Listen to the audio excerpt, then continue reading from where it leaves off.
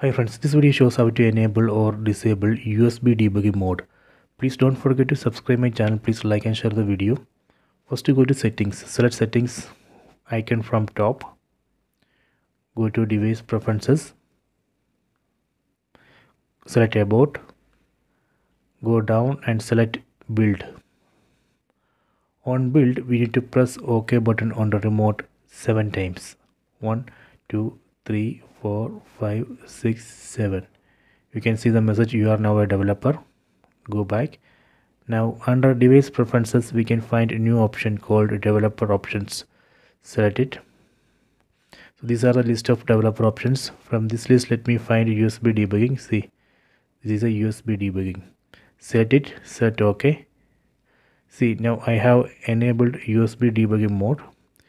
If you want to disable again select it and disable.